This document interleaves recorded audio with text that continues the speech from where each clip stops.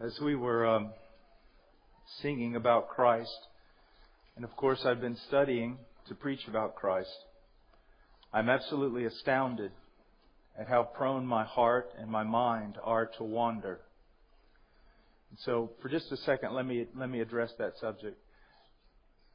All true devotion must spring forth from a heart rendered unto God, a new heart but I want especially the new believers to understand something that while, while we dwell in this body of flesh, there will be a battle.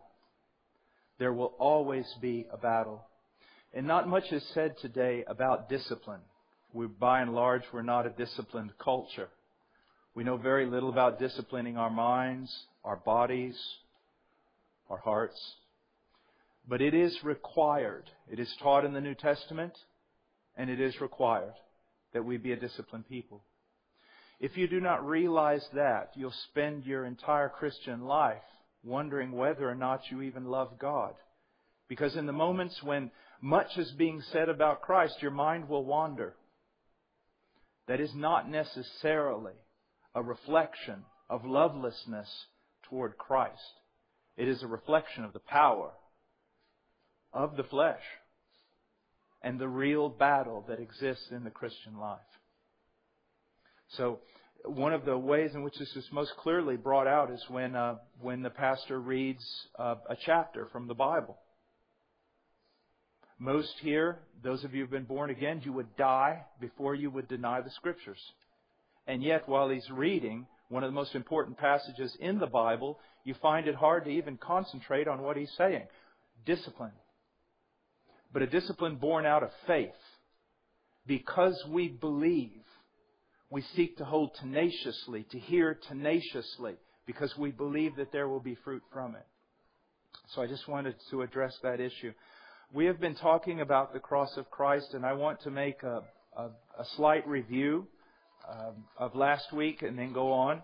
Let's go to 2 Corinthians chapter 5, verse 21. 2 Corinthians chapter 5 verse 21 where we see that he made him who knew no sin to be sin on our behalf so that we might become the righteousness of God in him. The fact that God made the Christ or the Messiah to be sin on our behalf. Now, in order to understand this, as I said last week, you must understand the character or attributes of God. One of the reasons why people today cannot understand the gospel is because so rarely do you hear sermons on who God is. So we went through the Old Testament. We looked at, I think, four passages last week in which we explained a great theme that runs throughout the entire course of the Scriptures, which is how can God be just and yet at the same time pardon wicked men? To some, most evangelicals today, that doesn't even seem to be a problem. But it is a tremendous problem. If God is just, He cannot pardon the wicked. If God is just, He cannot cover or hide their sins. That type of language is only used for corrupt officials and rulers and judges. We hear about it in the newspapers around the world a certain judge received a bribe and covered up the sin of a criminal. So the great problem that runs through all the scripture is how can God be just and yet justify wicked men? This is not a minor theme. This is a major theme in scripture. It is the major theme of redemption, or at least the foundation for redemption. It is what the gospel of Jesus Christ is all about, and so few people understand this that God cannot sacrifice one attribute in order to exercise another. He cannot sacrifice His justice in order to be merciful. He can't put away His holiness out of a desire for fellowship. And so the great problem throughout all of Scripture is this. How can God, how can God satisfy His justice that cries out for our condemnation. And in satisfying justice, put away or appease wrath and make it possible for a holy and just God to forgive wicked men and still be holy and just? And the answer is found. The reconciliation of what seem to be two opposing points is the person of Jesus Christ. When we use the word reconciliation, we need to understand that it is tremendously large. We think of it in terms of us. Of course, we think of everything in terms of us, don't we? We have been reconciled. No, everything is reconciled in the person of Jesus Christ. And Scripture is very limited on what exactly that means, but we do know that it's beyond humanity. It's cosmic. It includes not only earth, but heaven. Everything is reconciled. All these contradictory opinions that scoffers scoff about on a daily basis, they're all reconciled in the person of Christ. Even as we see the manifestation or revelation of God is reconciled in the person of Christ. That's what we've been saying.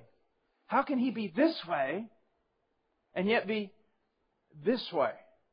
How can he forgive all types and kinds of sin and yet by no means let the guilty go unpunished? How can he do that? Christ is the answer. Christ, in fact, is the answer for every question anyone's ever had about God. He is the revelation of God. Now let me share something with you again that it's important to understand. Jesus, as John Gill used to say, he's not an upstart. He's not something new that just appears on the scene 2,000 years ago. The Son of God is not a New Testament idea. What you need to understand is everything God has ever done, He has done through His Son. God created the world through His Son. God reveals himself to the world through his Son. God reconciles the world to himself through his Son. God will judge the world one day through his Son. As Anthony pointed out a few weeks ago, the one that Isaiah saw, when he saw that magnificent vision in Isaiah 6, the one he saw was the Son. The Son. So the Son is the reconciling point for all things. He is the one who exegetes or interprets God. Even with regard, I know we're getting into Revelation here, but even with regard to the second coming, do you realize the first coming of Christ was not plain to the Old Testament saints until the great exegeter, the great interpreter appeared and he exegeted the Old Testament. He explained the Old Testament to the apostles. Do you realize that everything about the second coming will not be resolved until he actually comes? And then the great interpreter will once again explain it all. That's why everything is so dependent upon him. And the person whose heart has been renewed, they like it that way. They like it that way. Now, we also went on and we spoke about that God made him to be sin who knew no sin. We talked about the magnificent aspect of Christ that as a man he did not sin. That there's never been one moment in your life that you loved the Lord your God with all your heart, soul, mind, and strength. Never one moment have you obeyed that command. There was never one moment in the life of Christ that he disobeyed that command. So what all combined humanity could not do, even for one fraction of a second, Christ did it continuously throughout the full course of his life. Now, if that's not magnificent, and not just tempted in all ways, but tempted far greater than any of us have ever been tempted, and yet he prevailed. But he was made to be sin. What does that mean? Does that mean that somehow his nature was corrupted upon the tree? Did the spotless lamb become full of spots? What happened? How can it be said in the New Testament that he who knew no sin was made sin? The answer is found, of course, in the second half of the text, so that we might be made the righteousness of God in him. Which simply means this the moment a person believes in Jesus Christ and is justified, they do not become righteous as a being. They still sin. Every one of us still sins. We are not righteous beings. So what does it mean? It means the moment that a person believes in Jesus Christ, they are forensically or legally declared right with God, by God. And they are treated that way. Don't ever talk to me about justification unless you're also going to use the word treated. Not only does he declare us legally right with him, he treats us, his children, as though we were legally right with him. He treats us that way. And now we can understand the cross. On the cross, what happened? Well, this very thing. God legally declared his son to be guilty and treated him that way. What way? A way beyond any description of poet, of scholar, of angel. No one can describe the terror and the wrath of God that fell upon the Son of God because our sin was imputed to him and he was labeled guilty. I always tell people something that actually Charles Leiter told me many years ago. You want to know how much God hates sin? Look at Calvary. When his own son bore our sin, God crushed him. Now, as a word of warning, what do you think he'll do to you? Those who are bold enough to stand outside of Christ and say they do not need him. Are those bold enough to with one hand cling to their own works and with another hand extend it to Christ as though Christ were not enough. Their works must also add to it. If you are found on that day with one shred of self-righteousness, with one glimmer of hope in self, you will know nothing but the judgment of God. All your hope must be placed upon Christ and Christ alone. That's one of the things that I've been so amazed about throughout the years when you talk to a genuine believer. A genuine believer has many doubts. But I find there's one area where they don't have any doubt whatsoever. They are totally and absolutely convinced that they add not one thing to their righteous standing before God. They are totally and absolutely convinced that if they are judged for even their finest labor of their finest moment of their finest day, they're going to hell. Every true believer I've ever met was convinced of that and did not doubt it. Nothing in my hands I bring, but only to the cross do I cling.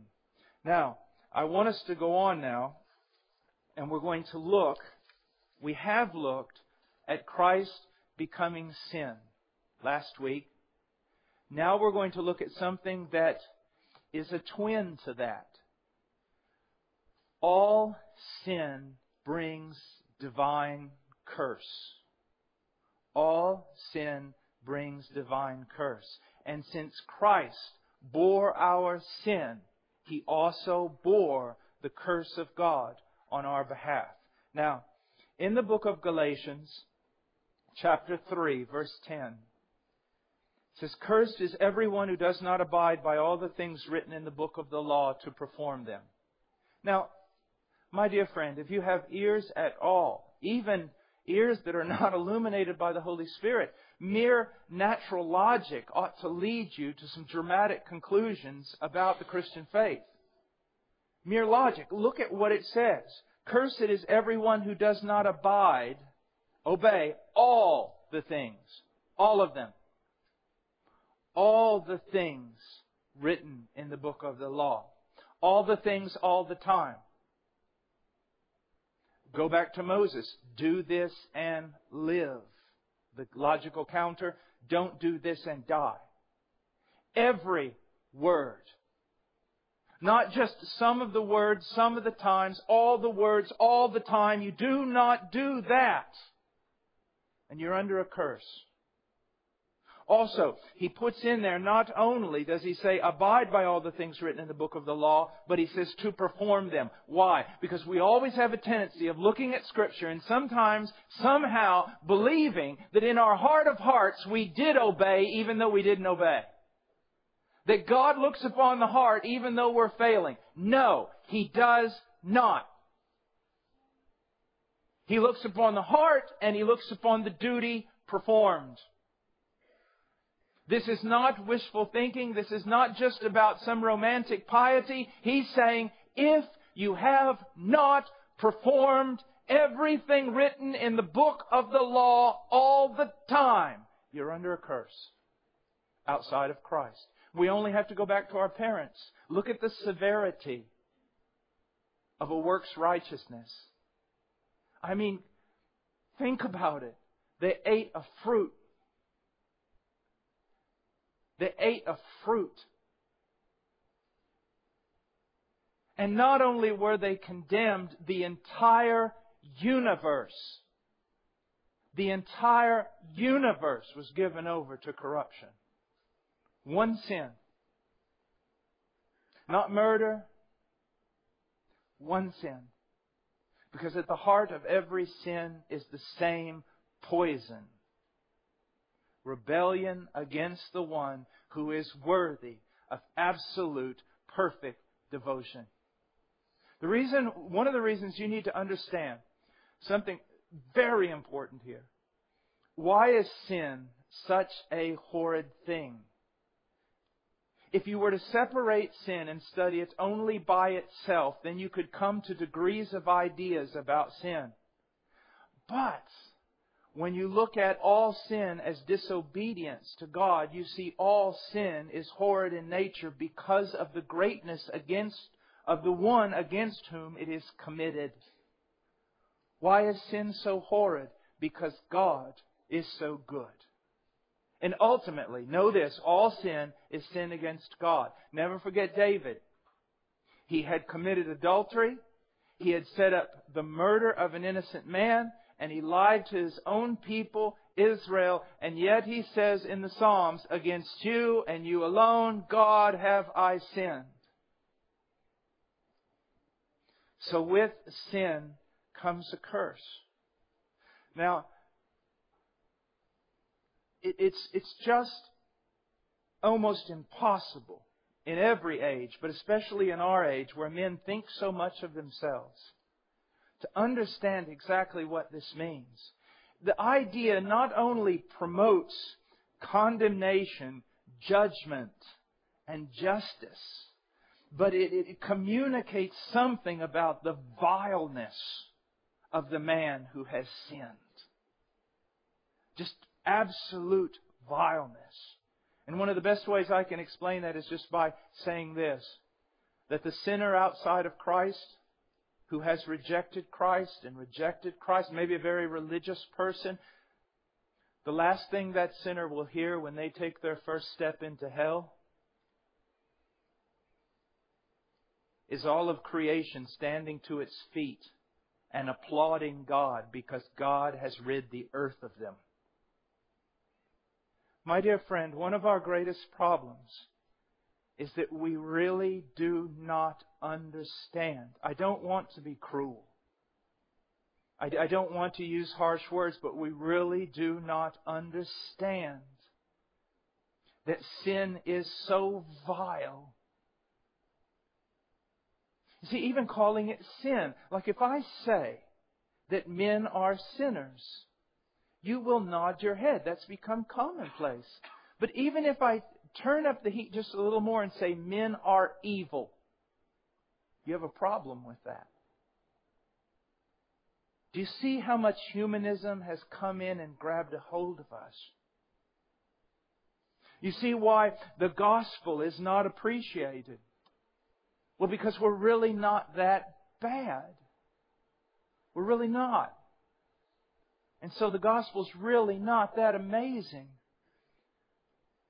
But when you see that not only the counsel of God, but any being that is without corruption, whatever there is in heaven, these things that God has made, thinking, conscious creatures that He has made that have remained in heaven, called the elect angels in the New Testament, what we need to understand is that on the day of judgment, if you are condemned, it will not be God condemning you with the rest of the universe trying to beg for your pardon. No, they will be applauding. because they know something of holiness and can see the radical nature of your depravity. My dear friend, you would not want me to look into your heart. Even though you know I'm just like you. How much less a holy God? What would he see there? By his standard, by his light. Now, it says in the scriptures, Cursed is everyone who does not abide by all the things written in the book of the law to perform them. Now, what does it mean? Well, if you're familiar with the New Testament, especially the Gospels and the teachings of Jesus, you're familiar with what we call the Beatitudes. Blessed are the poor in spirit. Blessed are the merciful. Blessed are those who mourn, so on and so forth. Well, what I've done is I've taken the Beatitudes and turned them around. And I just want you to listen. The blessed are granted the kingdom of heaven. Blessed are the poor in spirit, for theirs is the kingdom of heaven. The blessed are granted the kingdom of heaven. The cursed are refused entrance. The blessed are recipients of divine comfort. They shall be comforted. The cursed are objects of divine wrath. The cursed are satisfied. Oh, to be a heart totally and completely satisfied. What joy. The blessed are satisfied.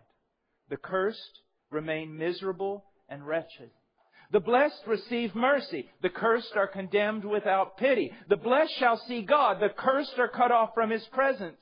The blessed are sons and daughters of God. The cursed are disowned in disgrace. Now, here's what I want you to see. The Bible says, Cursed is everyone who does not abide by all the things written in the book of the law to perform them. And then it goes on to say in verse 13 of Galatians 3, Christ redeemed us from the curse of the law. And how did he do that? Having become a curse for us. Now I have a dear friend, Dr. Nathan Barry. And uh, I love him dearly, and he's very biblical. And uh, every time I call him on the phone, I say, Dr. Barry, how are you? I'm blessed. He means it. He understands that term. But so often we talk about, I'm blessed. How are you doing? I'm blessed. Oh, I feel so blessed. I want you to understand something. The only theological, philosophical way that you can say something like that and be consistent is to realize that you are only that way because someone else was cursed. You should not be blessed. As I said last, last week about the love of God uh, for a lost and fallen world, it, it's proof right here. There should be nothing green outside. There should be no berries on that tree that you're looking at there. There should be no joy in birth. There should be no happiness in marriage. The whole world should be like sort of Beckett's waiting for Godot just a gray, horrid place with a dead tree and one leaf falling. There should be nothing here but wrath. There should be nothing but judgment. How can you be blessed when the law demands your cursing? And don't separate the law from God. God's law is an expression of His justice. God's justice is calling out for your death. How can you be blessed? Only if a substitute comes. The Puritans, some would say that, that there were certain words that when you spoke them, there should be something of a trembling of the lip, a moment of silence, because they are deep words. Say, I'm blessed. You should be able to say that with joy. But you need to think. Why? One reason. Christ carried my curse. Christ bore my curse. That's the only reason. His life for mine. My salvation, His condemnation on that tree. My freedom from the curse because it was poured forth on him. Now, when we look at the nation of Israel and it's coming out of Egypt, God does an amazing thing in the book of Deuteronomy. There are two mountains, Mount Ebal and Mount Gerizim. He divides up the troops of Israel. He divides up the people into two groups. One group went up on Mount Ebal, and what they did were they were to proclaim all the curses that would fall down upon the head of the covenant breaker, the one who disobeyed God. And then on Mount Gerizim, another group of people was sent, and they were to cry forth the blessings that were to fall upon the covenant keeper. Now you see the severity of the law. Do this and live. Now, your mountain is Ebal. That's the only mountain fit for you. You have rebelled against God. You have broken every covenant. You have no shred of righteousness whatsoever. Mount Ebal is your mountain. But in order to save you from the curse, Christ took those curses proclaimed on that mount. He bore them on the cross of Calvary so that they would no longer be yours.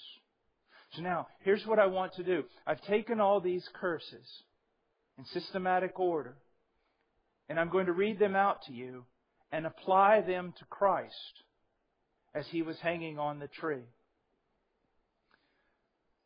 Christ is on Calvary and he cries out, and it, it's amazing because here they, they, they put it in Aramaic and they translate it for us into Greek. It's showing the significance of this statement, My God, my God, why have you forsaken me? Now we know the answer because our sins have been imputed to him, and he is now bearing our curse. So the scenario would look something like this Christ cries out from the cross, My God, my God, why have you forsaken me? And the Lord answers back, God, your God damns you. Now I want you to think about that.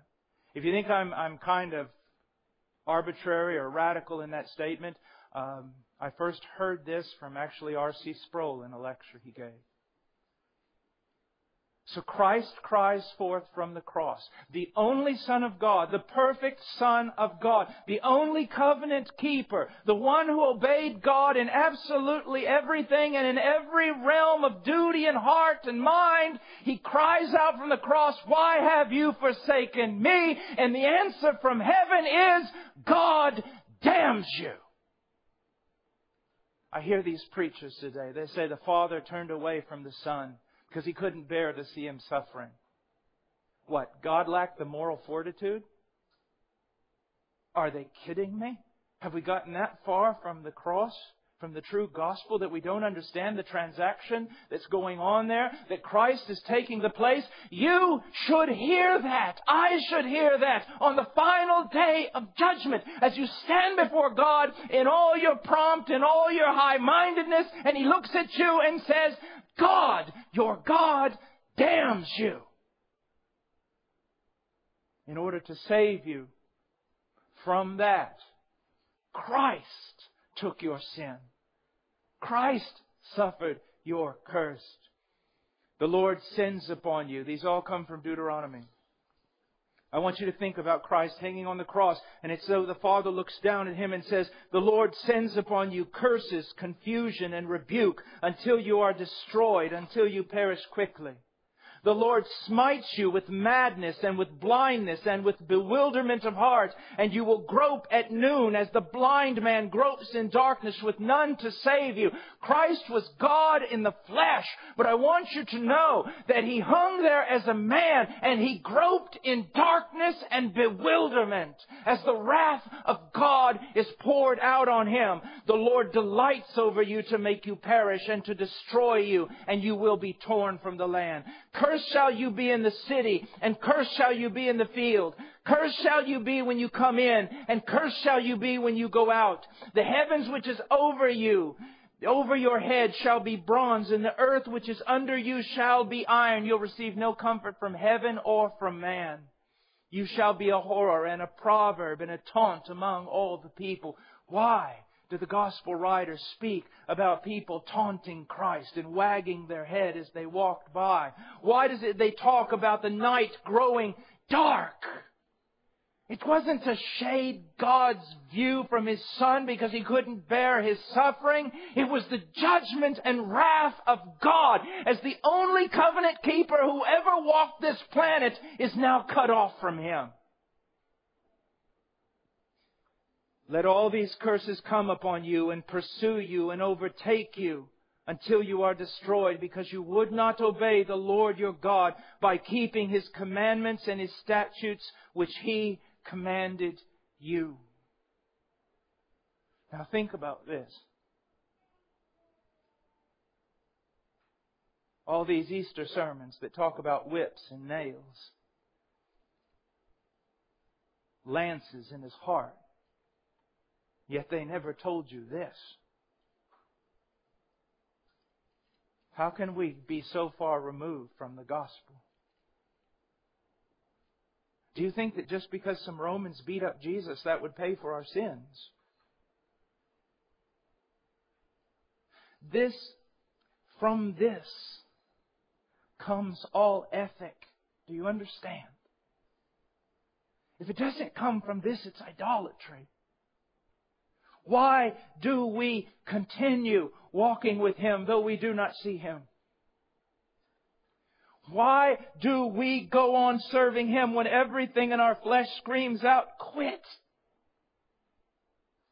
Why do we seek to live righteously in the midst of a depraved nation? Why? The ethic comes from here. He gave His own life for my soul. He died this horrible death for me. I've written here a paragraph that I would like to read to you as Christ bore our sin on Calvary, and again, this comes from Deuteronomy, he was cursed as a man who makes an idol and sets it up in secret. He was cursed as one who dishonors his father and mother who moves his neighbor's boundary mark or misleads a blind person on the road. He was cursed as one who distorts the justice due an alien, orphan, and widow. He was cursed as one who is guilty of every manner of immorality and perversion, who wounds his neighbor in secret or accepts a bribe to strike down the innocent. He was cursed as one who does not confirm all the words of the law by doing them. There's an interesting passage in the book of Proverbs that says, like a sparrow in its flitting, like a swallow in its flying, so a curse without cause does not alight. How did a curse alight upon Christ? He was perfect in every way. Keeper of the covenant in every aspect. How did a curse fall upon him? Because our sins were imputed to him. All the mass of sin of God's people was thrown upon Christ. I want to read. David cried out, How blessed is he whose transgression is forgiven, whose sin is covered. How blessed is the man to whom the Lord does not impute iniquity and in whose spirit there is no deceit. Remember, we were dealing with that last week theologically. How can God just cover up sin? On the cross, the sin imputed to Christ was exposed before God, not covered. And not only before God, but the host of heaven. He was placarded, as Martyn Lloyd-Jones used to say, before men and made a spectacle to angels and devils alike. The transgressions he bore were not forgiven him. The sins he carried were not covered. If a man is counted blessed because iniquity is not imputed to him, then Christ was cursed above measure because the iniquity of us all was cast upon him. There's an interesting passage also in the book of Deuteronomy. It has to do with the renewal of the covenant in, the, in Moab. And there's an interesting statement there that just says so much that it makes me think about Christ. As a matter of fact, I think if you read the Bible correctly, every word of it will make you think about Christ. And it says this talking about God's judgment against the covenant breaker. It says, The anger of the Lord and his jealousy will burn against that man, the man who has broken God's covenant. And every curse which is written in this book will rest on him. You see? There's no exaggeration in what I was reading. I read to you the curses of this book. And he says, Every curse written in this book will rest upon him. And the Lord will blot out his name from under heaven. He will die. Now listen to this language. Then the Lord will single him out for adversity. From all the tribes of Israel, according to all the curses of the covenant which are written in this book of the law. He was singled out from Israel.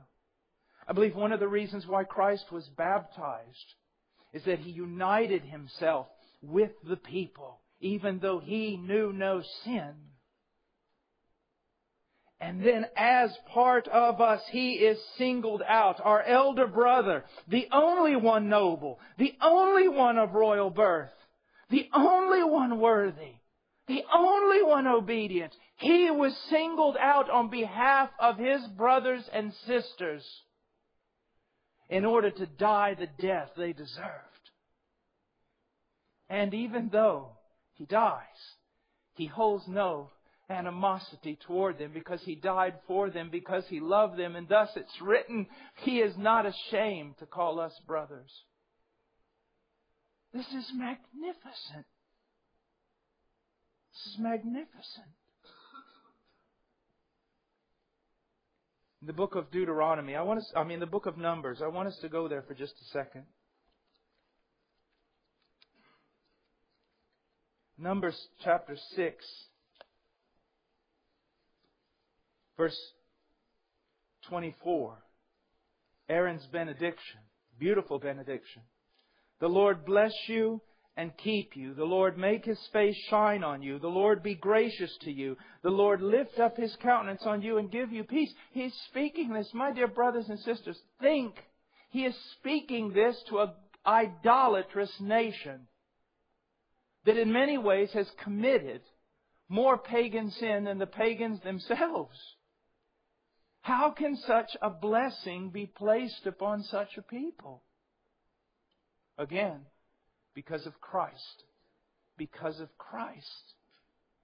This is what, if we take this text, we flip it on its head and turn it around and apply it to Christ on Calvary, the Lord curse you and give you over to destruction. The Lord take the light of His presence from you and condemn you. The Lord turn His face from you and fill you with misery.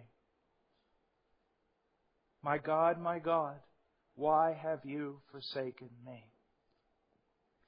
I've written here the psalmist describes the blessedness of those who are made joyful with gladness in God's presence, who know the joyful sound of the festal shout, and who walk in the light of his countenance. But for our sakes, Christ was made sorrowful with the absence of his Father's presence. He came to know the terrifying sound of judgment's, of judgment's trumpet. And he hung in the darkness of God's unbearable frowning countenance because of Adam's fateful choice. The entire creation groaned under the curse and was enslaved to corruption and futility. To liberate creation, the last Adam took upon himself the sins of his people and groaned under their dreadful yoke. I've often said, and I say it many, many times, religion doesn't have much of a draw for me.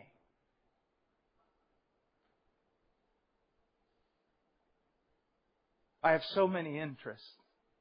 So many interests. I wish I could live a thousand lives to carry all them out. And I know what you're thinking spiritual things. No, I have all kinds of interests. I wish I could hunt. I wish I could climb mountains. I would even love to get in the ring and fight. There's so many things. That's why I look at some people that are just so mediocre about their time and life, and I can't understand them. I want to slap them. I, I hate that I've only got this many years when there's so many. You could look at a, under a rock for 20 years and find enough to delight you. And I would run to every one of those passions. I would. Except for this. This one thing. That's it. Nothing else really has strong enough appeal for me. This one thing. This death he died. It's the only thing that keeps me. And is strong enough to keep me. This. That's why it's called the power of God. This. Love ethics. Wish I had time to write a book on ethics. But ethics. I just need Christ. This thing controls a man, imprisons him in every way that is right. In every way that is right. Because the further you go down into this prison, the freer you become. The freer you become. So Christ bore our curse. But then also Christ suffers the wrath of God, which is one aspect, the curse is one aspect of it, but this thing is so great, it's so hard to put it in categories. But let's talk for a moment just about the wrath of God. So many people have so much trouble with the wrath of God. And what makes, sometimes I, I just want to call men out. You, you, you tiny little bug. You dare complain about the wrath of God? The very thing you have determined is your right as an individual, you'll deny God who created the world? What do I mean? You read something horrid that's been hap- happened to some victim, whether uh, a corrupt regime in Africa is starving a people to death or some pervert has kidnapped a child and tortured them for 15 years. When you read that, you burn with indignation. Even you drink down iniquity like it was water. There are some things you hear about and you literally burn. Because there is something left of the image of God in you that cannot, cannot set your approval on evil. Well then how much more the one who is holy, holy, holy?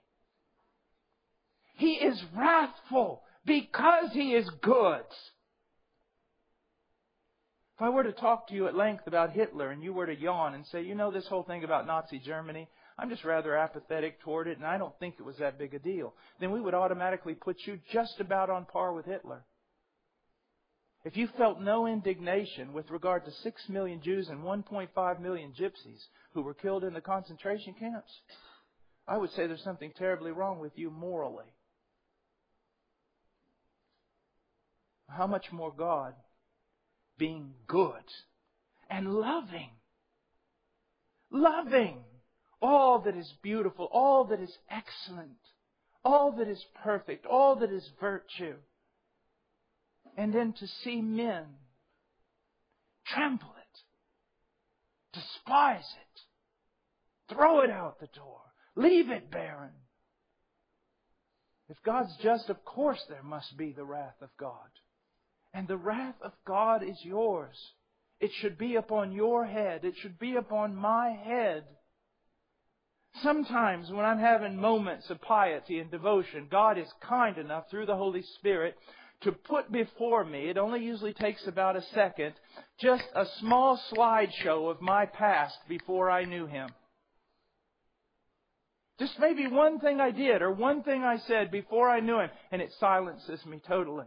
I understand I too be nothing but an object of divine wrath. If God had not interposed and if the Son had not been willing to come. He bore God's wrath. Now, we have, of course, the, the scene in the garden that brings this about so clearly. Well, Christ prays three times, Let this cup pass from me. Let this cup pass from me. Let it pass from me. I've heard so many preachers say the cup that Christ in His omniscience, He looked forward and saw the cruel whip coming down on His back and the nails being driven into His hands and the thorn being thrust into His side. or the, the lance being thrust into his side, all that, yes, is horrid. And that was a part of the death of the Messiah. It had to be a bloody sacrifice to save us. But if that's where you stop, you've missed the point. Because that's dealing with, at least in part, the wrath of man. Ungodly men crucifying the only godly man. For God so loved the world, He gave His only begotten Son, and men so hated God, they killed Him in the most cruel fashion possible. You want to know about humanism? And the so-called universal love of man for God? There it is. When God came to earth, men collectively decided for His slaughter. But what is the cup? I mean, why is he praying this way? I want to read two passages for you. The first one is Psalm 75, 8. For the cup is in the hand of the Lord, and the wine foams, it is well mixed and poured out of this. He pours out of this. Surely all the wicked of the earth must drain and drink down its dregs. And then from Jeremiah 25, 15 through 16. For thus says the Lord, the God of Israel, says to me, Take this cup of wine of wrath from my hand, and cause all the nations to whom I send you to drink it. They will drink, stagger, and go mad because of the sword I will send among them. What was in the cup? The wrath of Almighty God was in the cup. His hatred for sin. His violent opposition his aggression and declaration of war against the sinner. In order for you to be saved from that, someone had to take your place. Now, I want us just to look at something that is just really quickly because I believe that it, it brings something out, it brings something beautiful to the table with regard to Christ. If you'll just look in Luke for a moment chapter 1. And then also go to Hebrews chapter 5. First in Luke chapter 1, verse 40. The child continued to grow and become strong, increasing in wisdom, and the grace of God was upon him. This is referring to Jesus. Verse 52, and Jesus kept increasing in wisdom and stature. That's Luke 1. I'm sorry, Luke chapter 2. I'm sorry. Luke chapter 2, verse 40. The child continued to grow and become strong. Verse 52. And Jesus kept increasing in wisdom and stature. Now, because of the deity of Christ, and the many attacks that have fallen upon that doctrine. We, as Bible believing Christians, we are constantly defending His deity and speaking much of His deity, and that, of course, is proper in every way. But we lose sight of His humanity. He really was God. Now, please understand, He really was man. And He really grew in wisdom. He was born a baby. And as a man, he began to grow. Not only in stature, not only in favor with God and men, but he began to understand more and more of what it meant for him to be the Messiah. And I believe that we see the pinnacle of that revelation on the night of Gethsemane. What do I mean? If you look in Hebrews chapter 5, it says, verse 8, although he was a son, he learned obedience from the things which he suffered. I believe, just to give you an example of the glory and the pain of Gethsemane, I believe there was a sense in Christ's youth, although God, was growing in wisdom and knowledge as a man. And he came to understand something of what it would cost him to redeem his people. And let's say that it hit him in the chest like a, like a, a ton of bricks. The demands of it is revealed to him. And he says, Not my will, but yours. And then as he continues to grow in greater depths, there's a greater revelation of what it was going to mean for him to redeem a people. And every time he stood his ground and said, not my will, but yours.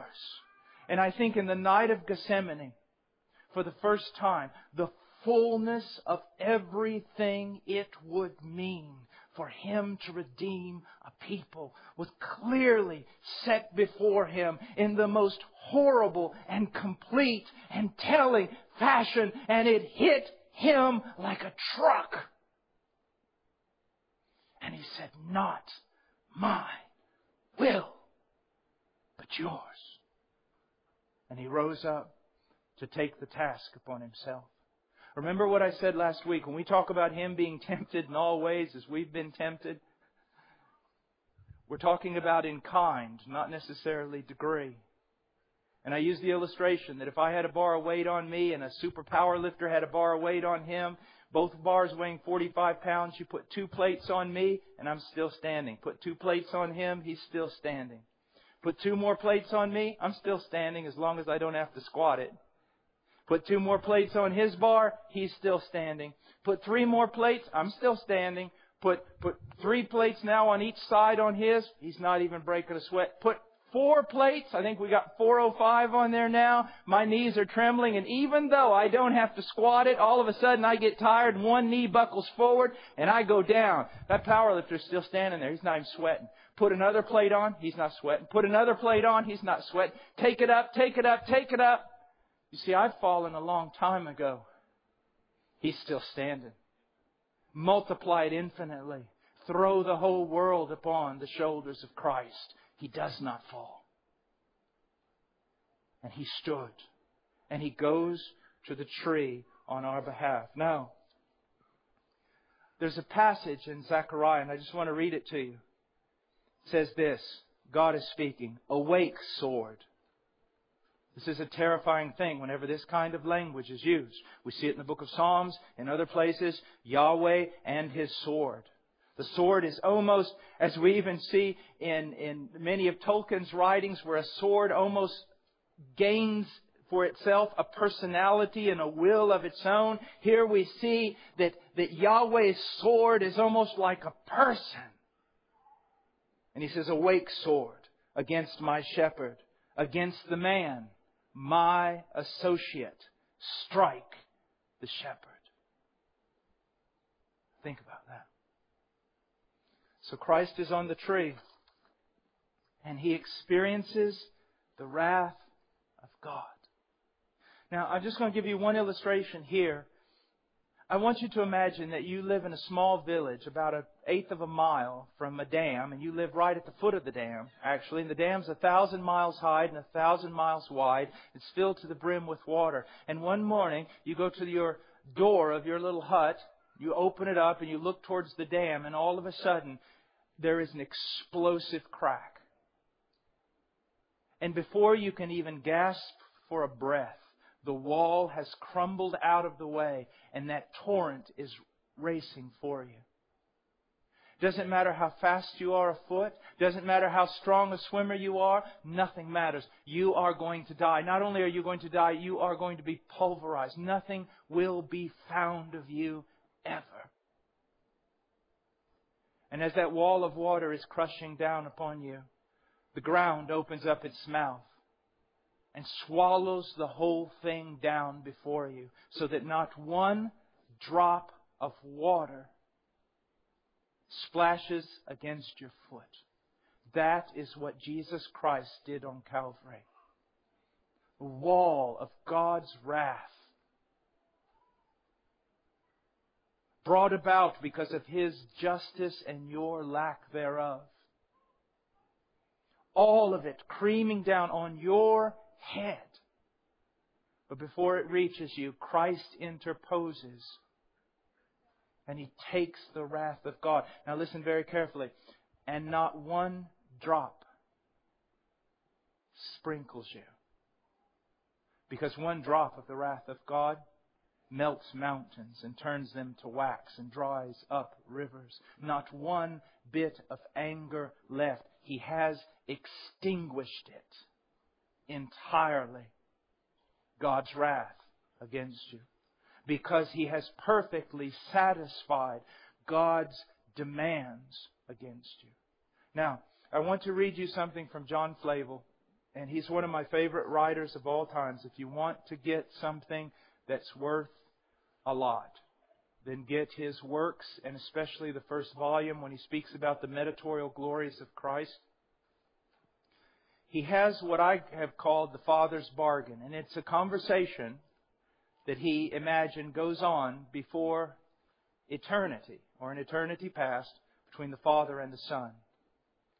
And the Father speaks first and says this My Son, here is a company of poor, miserable souls that have utterly undone themselves and now lie open to my justice. Now, first of all, just think about this miserable. Miserable. We don't like that word. We don't want it applied to us. Take the most beautiful woman. Have every man in the world vote. Lay all the women before us and allow us to vote. Take the most splendid, the most refined, the most beautiful, miserable. Take the strongest, most intelligent man, miserable. I was watching the story of a man very prominent, athlete, and they were talking about him. It kind of came up on my on my computer, and they were talking about him. But it seemed some were talking about him in present tense, and some were talking about him in future tense. And apparently, he was a tremendous athlete, but he was in a car accident, and now he's in a coma and not awake. I don't want to take anything away from that man. Matter of fact, I admire the things that I heard about him. I mean, he was the best of the best, and I love it.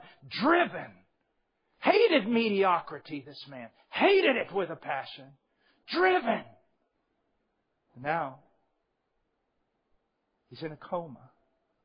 His mind doesn't even work. Miserable. Miserable. A dear friend of mine was losing his hair. He was about 35 years old and he was losing his hair. And I'll never forget, I've known him for a long time. Some college kids came in and weren't showing him respect. They said, Hey, you're kind of losing your hair there a little bit, aren't you there? Old man. I turned around and looked at that college student. I said, Boys, you need to understand something. He's losing his hair at 35.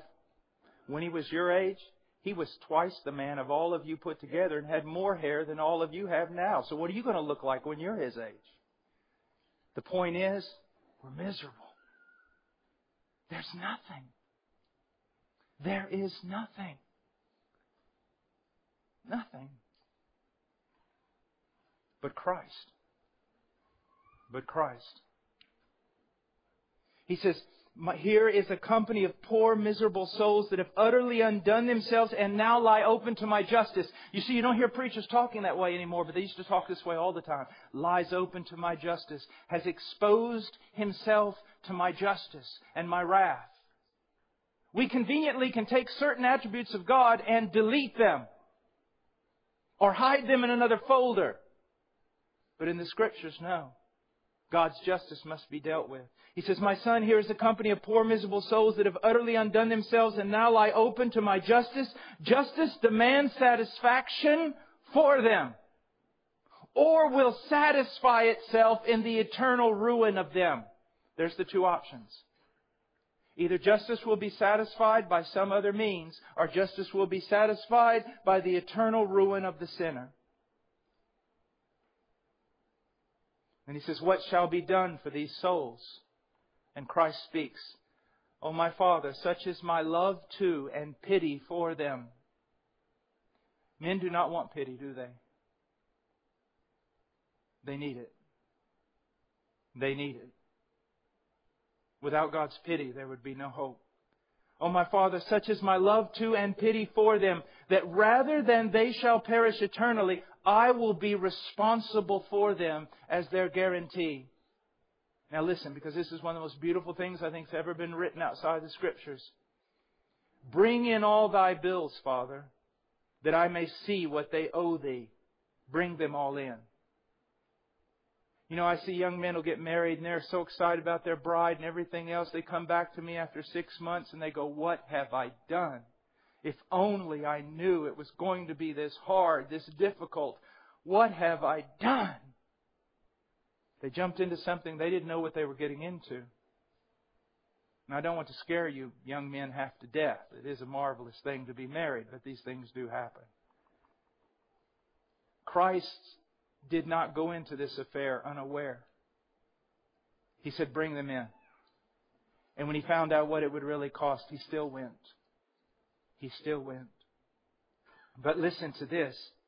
Bring in all thy bills that I may see what they owe thee. Bring them all in. Now listen, this is my favorite, favorite group of words outside the Bible. Bring in all their bills that I may see what they owe thee. Bring them all in that there may be no after reckonings with them. Saint, do you understand what I'm saying? Bring in every one of their bills so that when I pay it, there's nothing left. Nothing left to charge to Paul Washer's account. I want to know bills past, present, and future. I want to know them all because when I go to that tree, I'm paying for every one that he will never, never be called to account again. Do you realize what that means? Do you see the freedom? Now, a lost religious person will see that and go, wow, that's great. Let us sin that grace may abound. Well, if it's like this, Christian life is great. But the person who's been truly born again hears that and go, if things are this way, oh, that my heart would be more devoted to Him. Oh, that I would be more obedient to Him, that I would love Him more. All my bills are paid. And not only that, we don't have time to get into the fact, not only are your bills paid, but your account, your account has been made full. You see, the one who died for you is better, greater than Joseph. He had a coat of many colors that he would not share with his brothers. Christ is not ashamed to call you brothers. And so he takes his perfect life that he lived and He dresses you in it. Not only are you pardoned of all your sins by virtue of His death, but then He takes His perfect life that He lived as a man on your behalf and He closes, He clothes you in it so that now when the Father sees you, He's able to say, this is my beloved Son in whom I am well pleased. This is my beloved daughter in whom I am well pleased. I mean, He's done it all.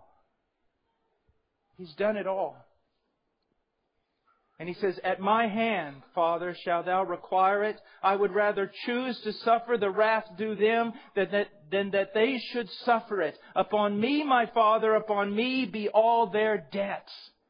And then the Father answers back, But my Son, if thou undertake for them, if you take their place, Son, you must reckon to pay the last mite.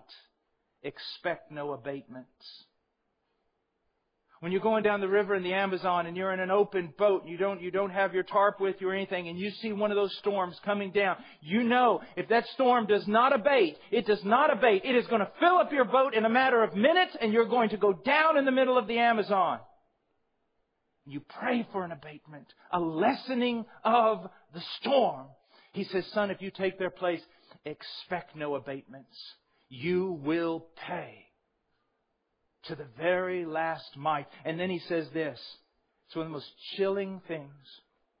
Son, if I spare them, I will not spare you.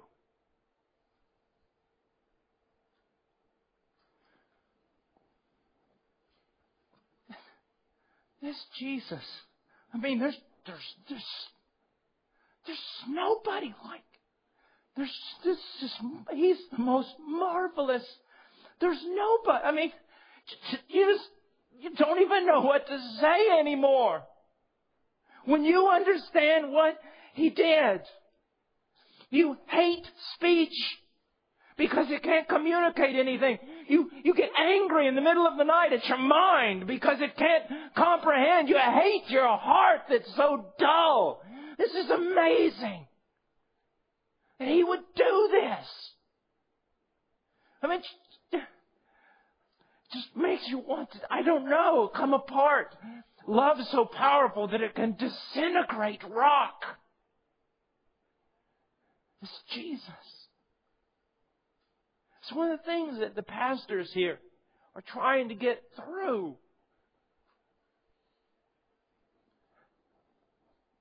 That if, if they start bringing in other things, and they could, if they started even being a little bit more entertaining, and they could, if they did all that, then what would happen? It would take the focus so that you'd be satisfied in something less than this kind of stuff. This is what they want you to see. They want you held here by this. So they're fighting tenaciously, not only against our flesh, but their own flesh to provide something that's a little bit more like a trinket, that glitters a little bit more, that'll bring in the masses. But if we will hold this course and seek to honor only Christ and bring in no entertainment or trinkets or things that glitter, Sooner or later, God's Spirit will fall upon this place. And He'll bless what's being done here. It says here, the Son responds, Content, Father, let it be so. Let it be so, Father. Charge it all upon me. I love this statement. He goes, Father, charge it all upon me. I am able to discharge it. It's not bragging when it's true. This is a broad shouldered Christ. Angels can't discharge this. They would melt like a tiny wax figurine before a blast furnace. This is a declaration of deity. Throw it upon me. I'm able to discharge it. I'll quench it all. I mean, I think about his beauty. I want to see him. I think about his power. I'm a little afraid to draw near. I mean, I don't know what to do. He's absolutely marvelous. Charge it all upon me. I am able to discharge it, and though it prove a kind of undoing to me, if that's not the understatement of the universe, though it prove a kind of undoing to me, though it impoverish all my riches, empty all my treasures, yet I am content to undertake it. And if He loved you this way in His eternal electing sovereign love before you were even reconciled, how much does He love you now?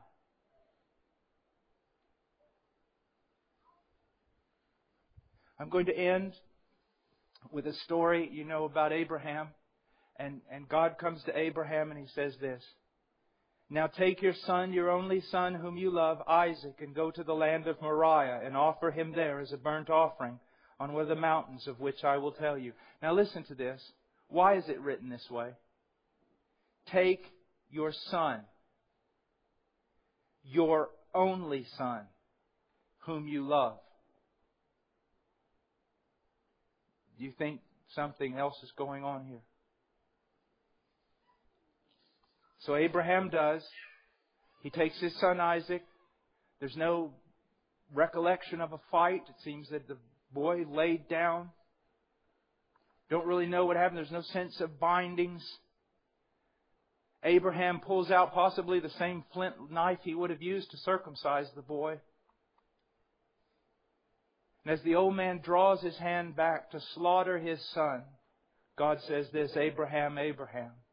Do not stretch out your hand against the lad and do nothing to him. For now I know that you fear God since you have not withheld your son, your only son, from me.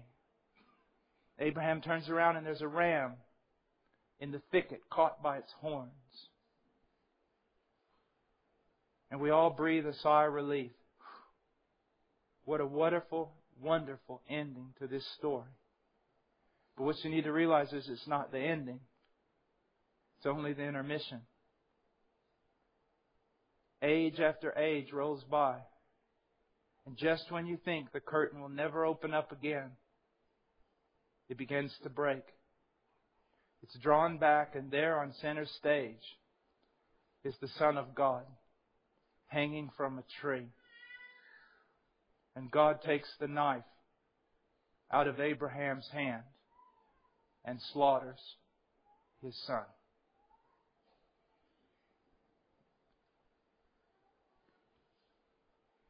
Jehovah Jireh.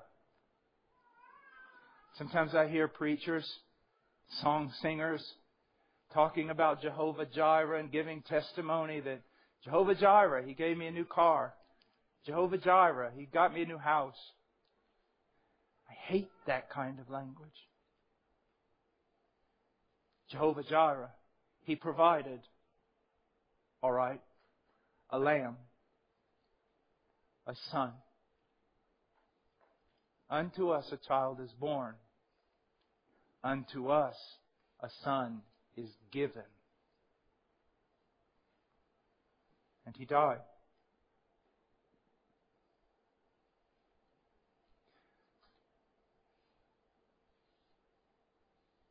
The preaching is a horrible thing because you can't do anything but fail.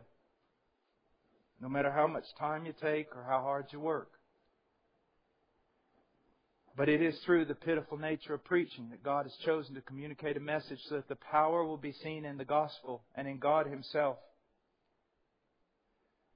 Is it well with you? Don't think that just because this is a little group that and there's nothing flashy about it that you must be spiritual to be drawn here. Is it well with your soul? Are you Christian? Do you truly know Him? The one who died and yea, rose again from the dead. We don't have time to go there. If I started preaching on the resurrection and I started preaching on His, uh,